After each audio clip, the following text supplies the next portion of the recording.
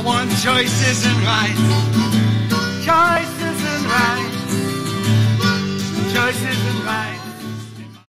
The whole issue of bringing disability equality training into education, in honesty, started because I became a parent of a disabled child. And um, I had never been in a mainstream school my, in my life until I went into the primary school I wanted my daughter to go to and um, realised they hadn't heard a word of any of this stuff. I was going backwards in time, trying to talk to them about, you know, including my daughter. And it was like, they don't come to us. We don't have disabled children in our school. It's not an issue here. And it suddenly dawned on me we were going to have to bring this work back. Reluctant though I was, but I was kind of feeling I couldn't expect Lucy to be in a mainstream school, or any child, if we weren't willing to do the work with those schools to make it a place they want to be. It was at the time that ILEA was being murdered by Margaret Thatcher. They were anxious to leave behind some sort of good practice model in all the London boroughs on many issues, and they included disability in that, which was in itself quite a forward thinking issue. Um, Richard, at that time, was a disgruntled disabled teacher working with the trade union and wasn't an inclusion, wasn't, didn't really support the notion of inclusive education because he was seeing it as a view from the viewpoint of teachers having the right to exclude. But I'd also, in my own struggle as a parent, met other parents of disabled young people. Um, and I also had the same realisation that parents need this training as well as teachers and so on and through that had a few really strong allies amongst the parents. They suggested I was one of the people that was interviewed or was given this money to do something useful, and Richard was put out by the other camp who thought they would make, he would bring reason to the whole thing and make me realise the errors of my way. Yes. That was how it was. We were forced together by two warring factions of parents. We met in this room.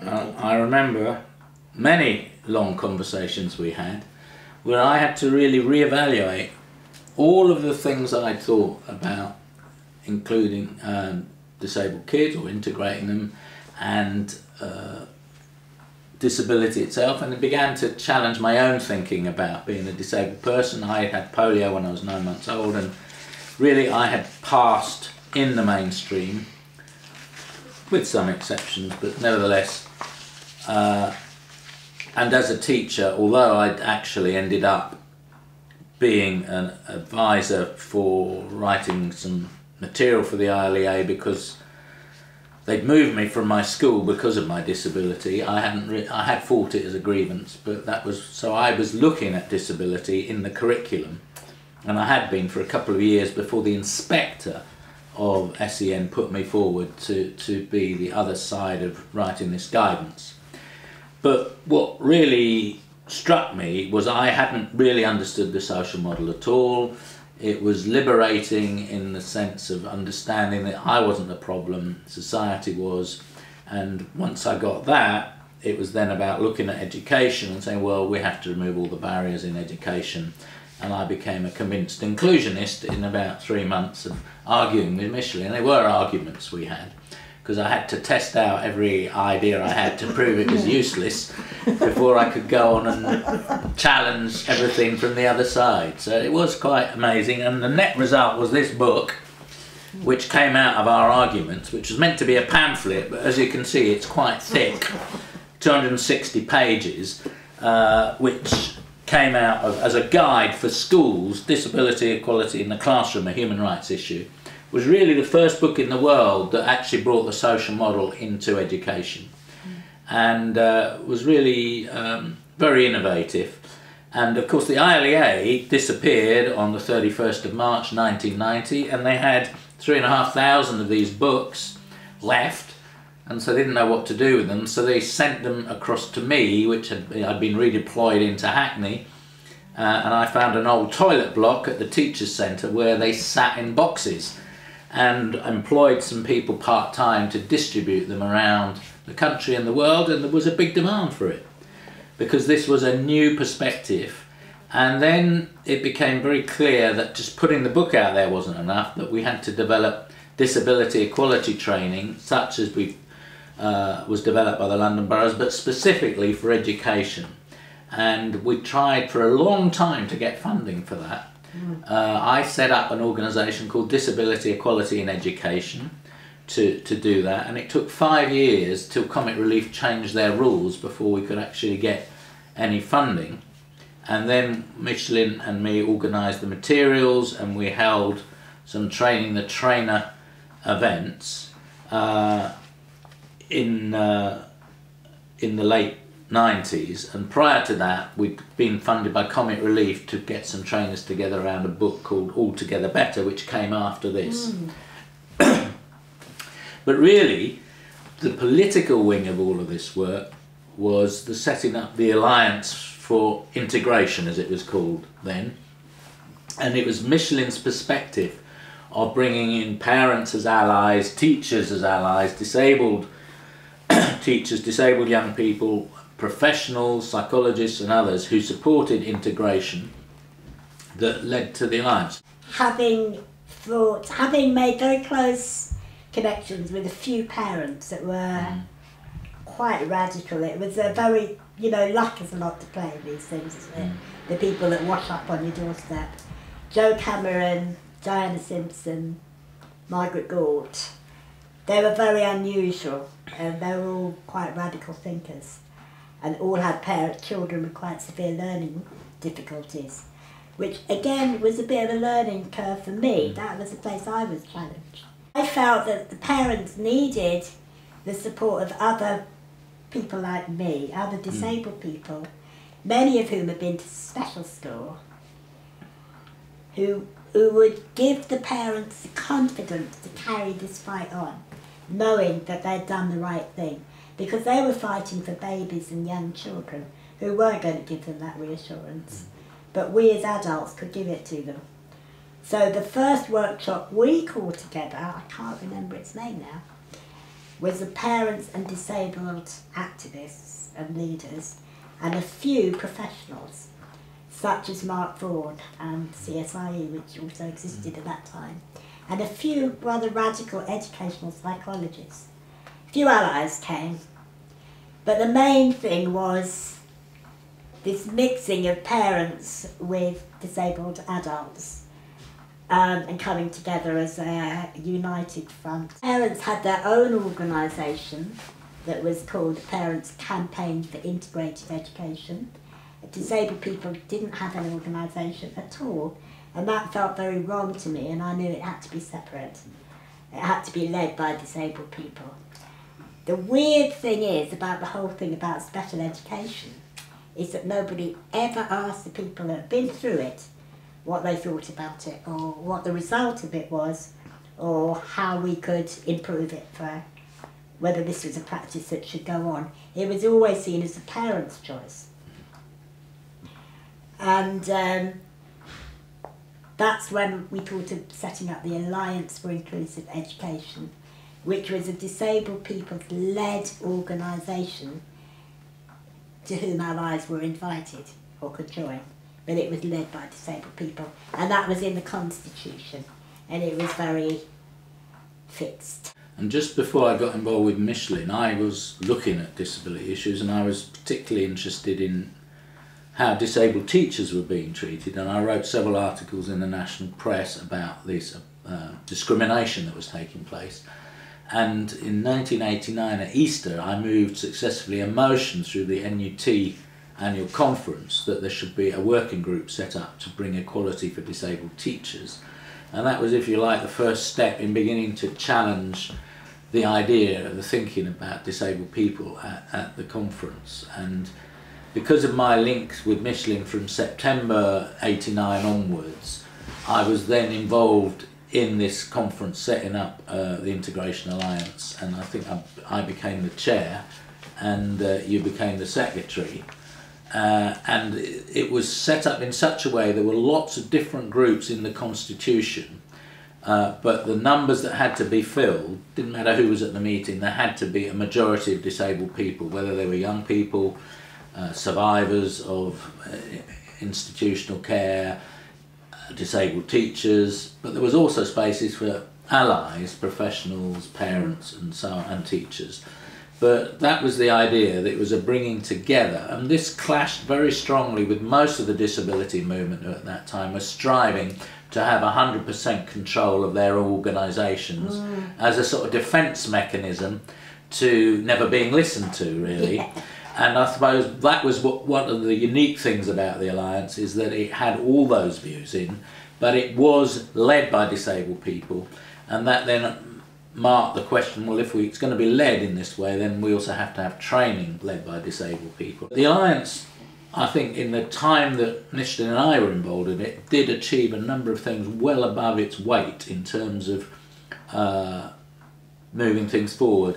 One of the early things was to produce our own draft bill that went to Parliament. Yeah. A solicitor, David Roubain, wrote it out in legalese for us. But it was basically that there'd be an absolute right to inclusive education. And at the time, there were three caveats that stopped disabled children going to mainstream school. The 1981 Act said there is a right to mainstream education, but only if uh, you um, didn't cost too much, that the mainstream school could give you an appropriate education and you didn't interfere with the efficient education of other children, which in most local authorities meant that any child with a more significant impairment never got to school. Mm. That's true. So we set about not only having that bill as a propaganda exercise, but actually after 97, when the Labour government came in, we actually worked quite hard to get them to change the law to get rid of those caveats. And we did actually get two of them taken out. We did, yes. Which was a great success, really, for a small organisation. It was very interesting that we used the same technique, if you like, of training, of always mm. trying to win people over by um, rational argument, if you like. Mm. Never blaming them, never, you know, doing the war thing but always assuming they just didn't know, they hadn't heard mm. the other side, which most of them hadn't. And once, I think that was our thing. The other thing that happened, actually was important, was the Canadian model mm. of, of, inclus- of inclusive education that was brought here by CSIE, who mm. brought mm. George Flynn over, and he spoke about what they'd done in his school board in Canada where they'd made this decision to not segregate anymore and to bring those children into the heart of the community. And it was so moving and it was so um, forward thinking compared to what mm. we were doing. And he talked about inclusion being and something everybody wants, that it was it was for everybody's benefit, not just the benefit of the disabled child. And with that, we actually changed the language. We changed the word from integrated education to inclusive education. And that was a bit of a shift as well, wasn't it? Absolutely.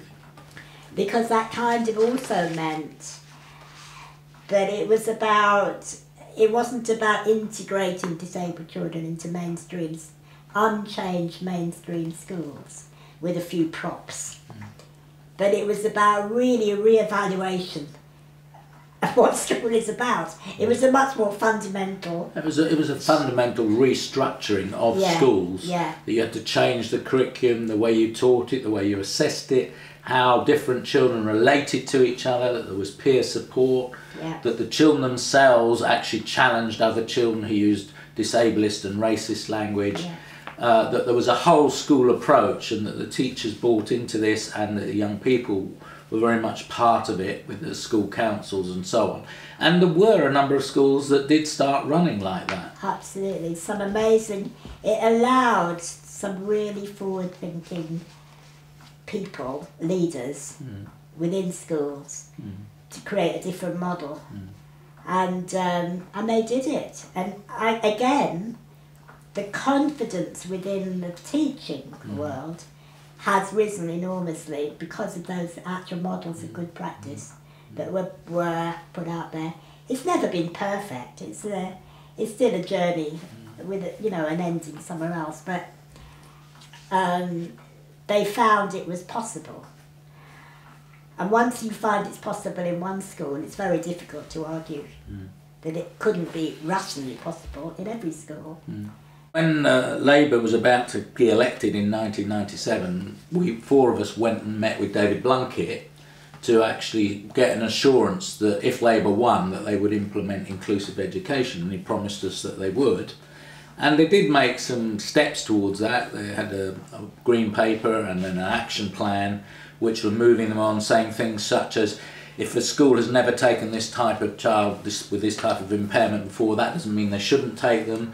There were actual grants for training, and so we uh, got some money on that. And as the Alliance was just a campaigning organisation, Disability Equality and Education, which I was running as a charity, got money from the government to train trainers, and we trained about 600 disabled people to, to do this. And as a result of that, we trained 150,000 educationalists, which was amazing given uh, how small we were. We wrote a course book, they all got the course book, how to do it. Uh, and that got evaluated, and it did show that about 60 to 70% of schools and those who participated really changed their attitudes and practice. So it did work. Uh, and if it had had more support and lasted for longer, we wouldn't be back where we are now Yeah. with the clock being turned back. And the other thing that we did from that, uh, once we'd sorted out in our own minds the difference between integration, inclusion, exclusion, and segregation, we argued that very strongly. And when the uh, United Nations was putting together the Convention on the Rights of Persons with Disabilities, they were by the fifth or sixth meeting they were had ended up with there should be choice. And we knew that choice was not real choice, and that the principle, the human rights principle, was inclusion. And so myself and I think Tara Flood and also someone from the CSIE, we were at the convention for three of the meetings and we argued this. This was the most hotly contested issue in making the convention. It went to three votes and in the end we won that the principle would be inclusive education. And then for quite a long time, state parties who meant to implement this weren't. And so then the committee of disabled people that's elected by the state parties produced in um, art, um, general comment number four, there actually is a paragraph there, paragraph 13, that is based on our thinking, which actually makes the difference between inclusion, integration, segregation, and exclusion. So that small discussions that we had in South London is now in world law. That is, it, counts as a legal document, uh, and, and so that is, and everywhere I go, all around the world, people are doing little diagrams showing these four states. So it just shows that if you have clear thinking that's developed that works, it can go very much wider. And of course, that, that to implement that around the world, of course, is now the big mission because apart from a large number of disabled kids being excluded, most of them are integrated and failing because there are no adjustments being made for them. Mm. And then they say, well, see, we told you they couldn't be educated. That is not the point. We know it works. We have to convince the rest of the world it works. The other piece of the work that I think is very key was the work with parents. Mhm. Because as well as developing all the work within schools and with teachers and that, that world, the world of parents of new, you know, young children who had never been exposed to any of this thinking. Why would they? Um, until they suddenly became a parent of a disabled child. Where were they to go to get some support? So they weren't just desperately looking for a cure or a treatment and wanting special school because that's where they thought it was, you know. And with these rather radical parents, we created the Plan of Positive Futures course and school-based support groups. Um, and then was the third thing. They ran their helpline in a completely mm. different way. Mm. And again, we use the same model. That was always a disabled trainer with a parent ally together as a model. And we talked about that relationship as part of the training. Mm. And again, I can't remember, I don't know how many courses we ran or parents we got to, it was a lot. And they became the champions of inclusion and brought up these wonderful empowered young people. And that generation are now out in the world taking up the, the, the fight for themselves. You know, Nadia and Marisa and Lucy and Anthony mm. Ford and, you know, lots of mm. another generation. I think it Really? be tr- true to say we weren't the only ones pushing for this. People had taken the 1981 Act seriously. For instance, Linda Jordan and Chris Goodey in, That's in. Newham had said, well, it says all children should be a- able to go to school. They had a daughter with Down syndrome. She went to a mainstream nursery. Then, as it was in Newham, they said, well, now she has to go to the special school. And they said, why?